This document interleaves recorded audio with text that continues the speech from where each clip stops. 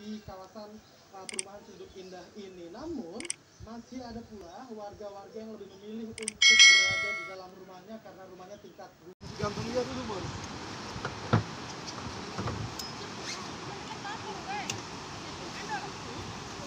Ya. Itu kap. Kita sana.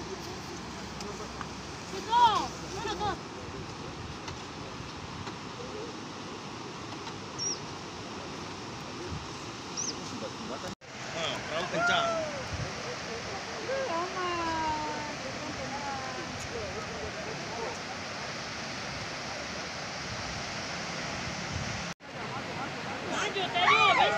Wih